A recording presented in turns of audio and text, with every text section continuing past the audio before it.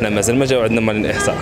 بطبيعة الحال نستقبلوهم كما دارهم هما خوتنا راه هما منهم منا. كان يمكن يكون أنا واحد من هذوك الناس اللي غادي يديروا الإحصاء. كان يمكن يكون خويا كان يمكن يكون الوالد ديالي.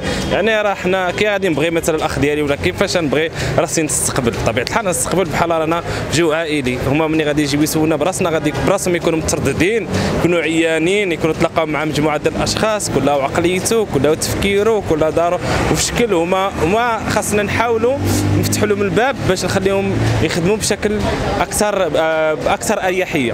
يعني هذا نبذلوا حنا مجهودنا وهما اللي يعاونوا حتى هما راه كيديو الواجب ديالهم. وهذا الواجب ديالنا اننا نتعاملوا معهم بحسن اننا نديو هذه مهمه عندنا لأن الإحصاء عنده واحد واحد الأهمية كبيرة لأن ما يمكنش غادي يجيو عندك ناس ديال الإحصاء. اولا ما خاصكش تكذب عليهم لأن الكذوب في الأصل حرام.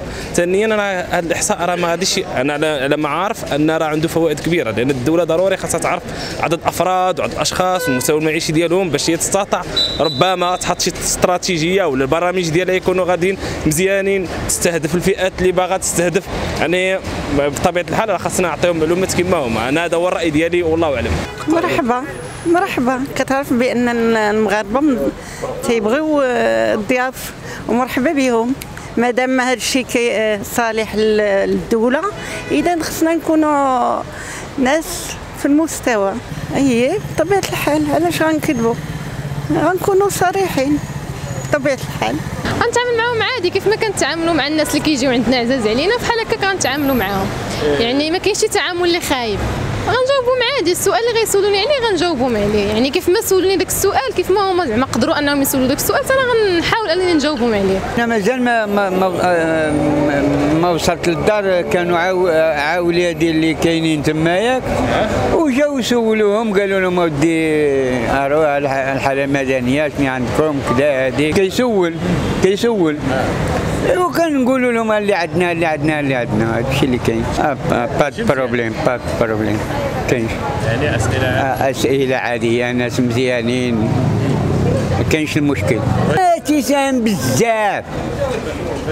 زعما يعرفوا الناس يعرفوا آه، شحال الناس عندنا في, في, في سميتو في المغرب. آه، بزاف ديال الأمور خاصة بالدولة.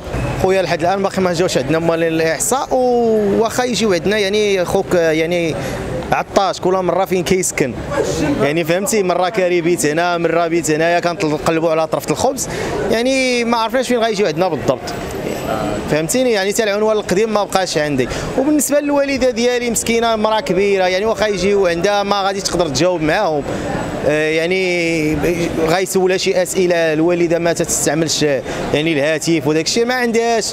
يعني حتى الأسئلة اللي غادي يسولوها ما عرفتش تقدر تجاوب عليهم ولا لا. تنتمنى وحبذا أنا لكم في مصلحة المواطن. يحصيو عباد الله اللي ما خدامينش. بحالنا حنا اللي كنطلبوا غير القوت ديالنا اليومي كنقلبوا عليه.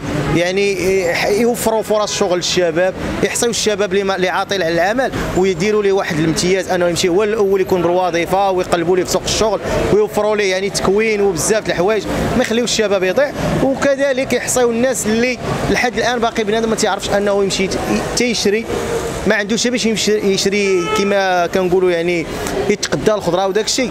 ما بقاش بالمستطاع ديالو. حتى دوك الناس خصهم يتحصاو. لا باقي حاليا باقي ما وصلوش عندي ضروري غادي نستقبلوهم لأن هذا واجب وطني. باش كينمي البلاد كناخذوا أفكار كيفاش عدد السكان وعدد الاستهلاك ديال الماء. وعدد بزاف ديال المسائل آه، اللي كتعلق بالتنمية ديال البلاد. آه، توعية التلفازه ضروري الاذاعات المغربية دير توعية للمواطنين كيفاش يستقبلوا الناس والتعامل معهم باش يكون داك الشيء احسن أحسن ما يكون. تستقبلوا بحال جميع المواطنين عادي فهمتي؟ يعني بواحد الروح الطمانينيه بأن داك الشيء اللي عندك اللي عايش باش تقولوا ليه. يعني داك الشيء يعني الشيء كتاكل كتصرف تقولوا ليه. يعني بالصدق كتهضر معاه بالصدق. وتلف مع جميع المواطنين بحالنا بحال المغاربة حيت حنا عايشين فيها الحمد لله عليه اللهم لك الحمد. الدولة بغات بغات الاهميه للمواطن كتفكر في المواطن